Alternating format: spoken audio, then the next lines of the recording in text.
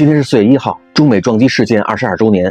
先说我的观点啊，咱们中国人近二百年的历史啊，说明了一个道理：一个手里没有刀的民族，一个没有使用武力决心的民族，他就没资格爱好和平。说三点啊，第一个，当年的这个撞击对中美两国来说都是一个意外。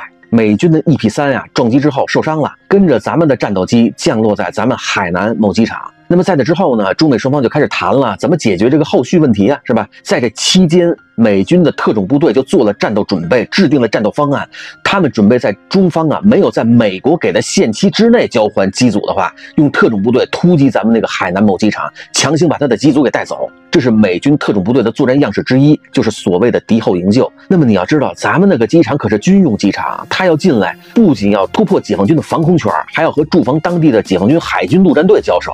但是美军就要这么干。后来是因为中美双方啊达成了解决方案，哎，美军。这个作战方案、作战计划不必实施了，很难想象，如果当时没有及时谈好的话，会发生什么。第二个，美俄不是刚刚撞击吗？咱们看看美国怎么对付俄军的。黑海撞击之后，美军无人机立即改变了军事侦察飞行的这个路线，更加远离克里米亚半岛。当然了，他被俄军干下去那个是个无人机，没有人。假设有人。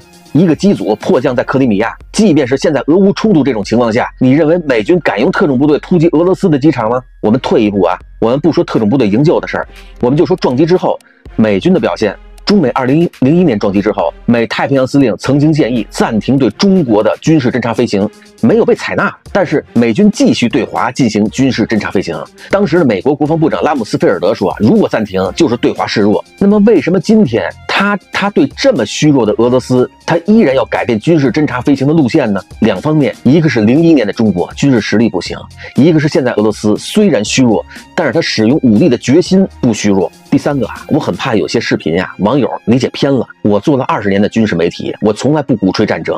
但是大家要知道，战争找你不是以你喜不喜欢他为标准的，而是以你有没有足够的实力应对你的对手为标准。那么对手在军事上如果找你麻烦的话，他死得更惨，那么他悍然军事打击你的可能性就低。爱好和平的民族手里必须有刀，对付豺狼必须有敢于使用武力的决心，否则你就没有爱好和平的资格。